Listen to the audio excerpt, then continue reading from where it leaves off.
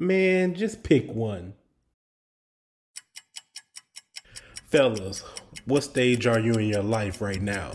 When it's time to go to bed, are you throwing on a set of pajamas or are you putting on a wife beater and some drawers? Pick one.